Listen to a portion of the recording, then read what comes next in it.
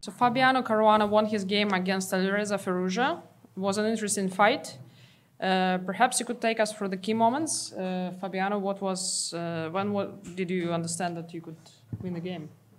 Well, it was a very tough game. I mean, really, really complicated, even in the end game. Um, okay, I thought I had a nice small advantage, but uh, I mean, I came up with this interesting idea: bishop c4. It's an it's a new move.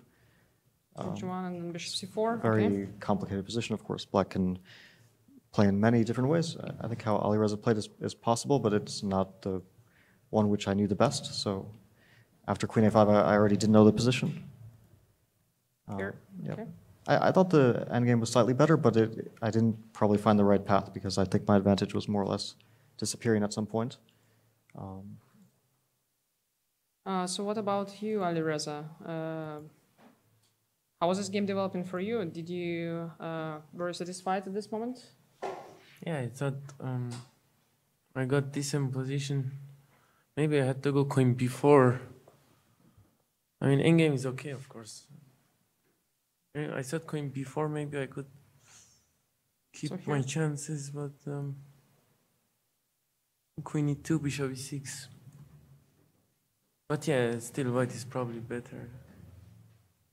But I thought this endgame I should be okay, but not easy. Yeah? Yeah, so here's the endgame that you reached. Um, yeah, and then somehow in the endgame, uh, it was not easy indeed, and you just started to slowly um, outplay. So, what do you think was the critical mistake for black? I, I think after f5, I, I overlooked this move. It looked very, very good because I thought I was slightly better.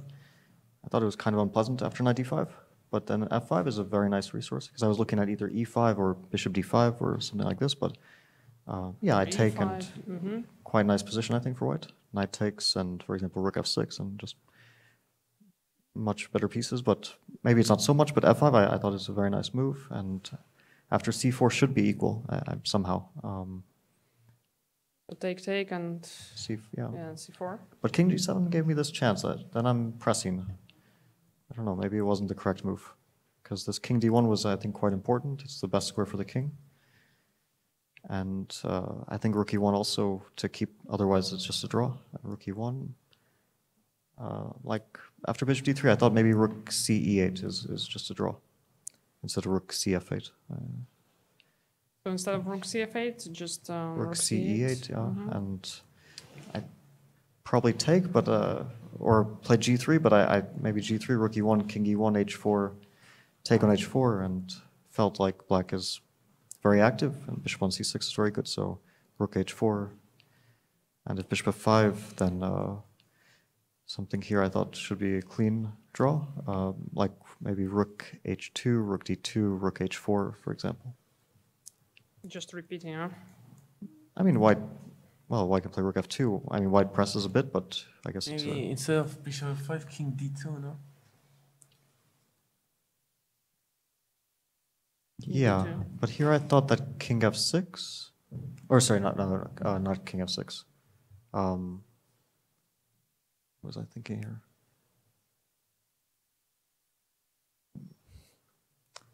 Maybe king f6. I don't know. It's take king e7, rook d4.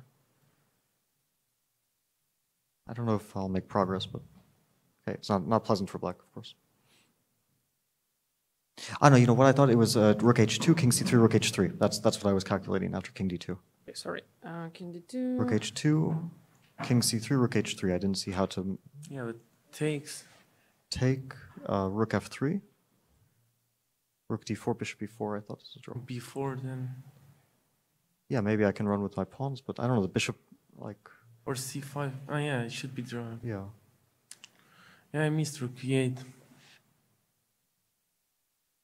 So you didn't uh, didn't consider this move at all, or just uh, didn't no, like the continuation? I didn't, I didn't have time and hmm. I blundered.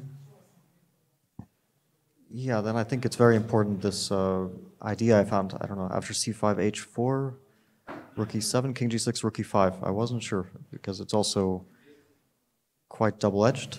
I mean, with like three minutes. So, but I thought that white is has very good winning chances. Like if bishop takes g2 rook bishop f5, king. Rook f5, no? I thought bishop f5 wins. Rook f5, uh, rook d6, cd, and uh, looks very strong. Maybe hide the bishop on f3 and then rook d8. Where'd you go? King, I guess king d2, I don't know. Rook d8. Yeah, but rook f8. Oh, this is rook f8. Rook okay, f8, yeah. yeah. Can't hide anywhere. Maybe Just king g7. King g7, yeah. Uh, but what's wrong with bishop takes f5? I thought it's winning.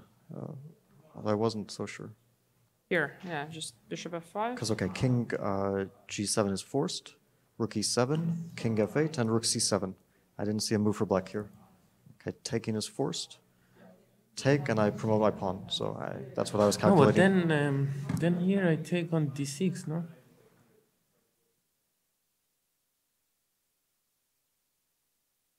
Ah, you can do it this move order. Ah, it wins, yeah? Bishop c6. Ah, bishop c6.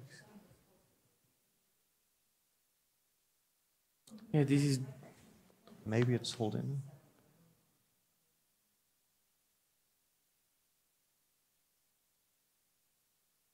Yeah, might be a draw. I don't know. King, so bishop f3. Maybe king e1, so I can chase the. No, but the pawn will be queen, yeah. Yeah, I can't stop this pawn. Check. King Wait, f king d2, king g7, check, king f6, check. f5. Even bishop d5, yeah. Yeah, this is very double-edged now. Yeah. Yeah, this holds then, yeah. But it's yeah difficult uh, position. So then rook h5 is not a mistake, it means. I mean, maybe bishop f1, g2 maybe bishop f1, rook h8, but I thought then I just move my rook back, like rook h8, rook d4, or rook d2, I don't know, and then I bring my king to f2, and slowly I might be winning this position. King e1, king f2, and Yeah, this is winning. Hmm. Like yeah, but I thought maybe after later there was still some chance, but okay, we were down to second, so it was very, very difficult to play. Yeah, so this is how it went, and um, so you mean somewhere here could be some more chances for black, right? Maybe, but I don't know. It's hard to say.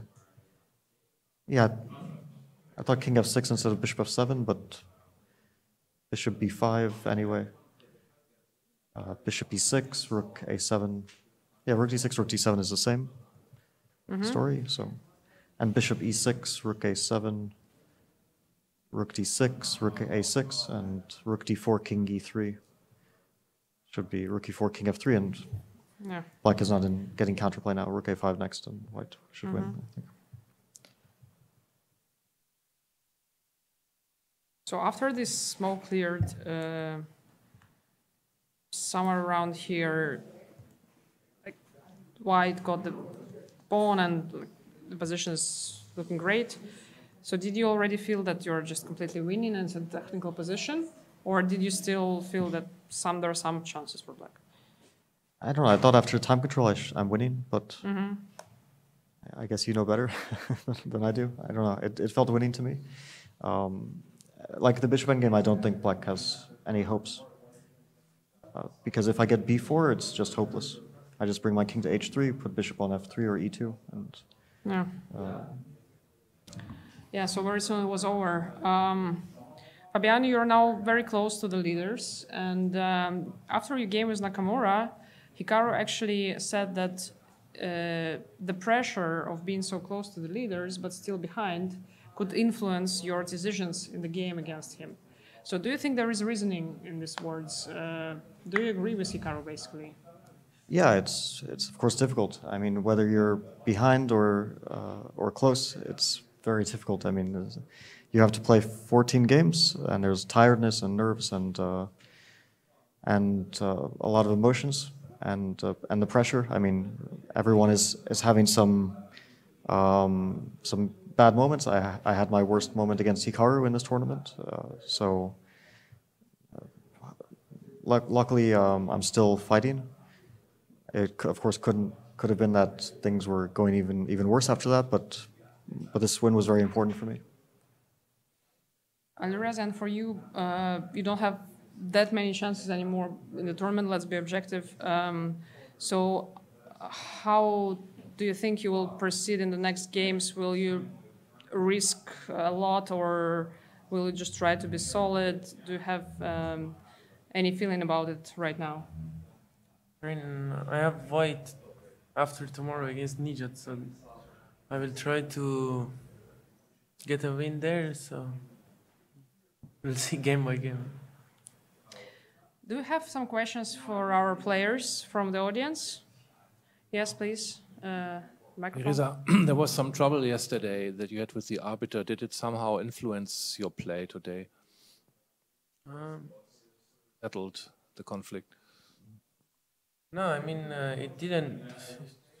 Today it didn't influence my game because um, nothing happened. So um, yeah, it was an unfortunate incident. It's Today than yesterday? No, No. same one. Do we have more questions?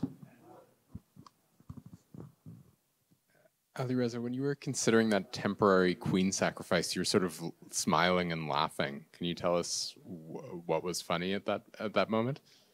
Yeah, I mean it's um, it's pity that I have to play this end game, and um, I felt like uh, White could have played knight takes c6, and I think it was um, maybe big advantage even knight c6 f4, but um, but yeah, knight b3 I didn't expect, and then suddenly queen g5 is kind of only move, so uh, it was at this point of tournament, I have to defend the endgame. It's very unpleasant. Do we have any more questions? Yes, please. Uh, the microphone is there. Okay. Uh, there was a moment after bishop e6 when you, Fabiani, you played bishop e2. Did you consider the move e e5? Yeah. So in this moment, instead of bishop b2, Oh, play e5. Ah, first take is six. Okay.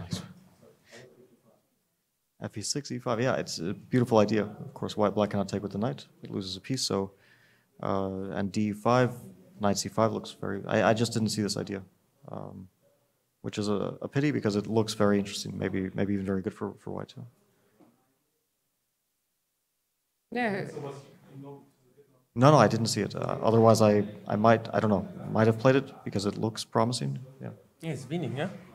yeah, it looks.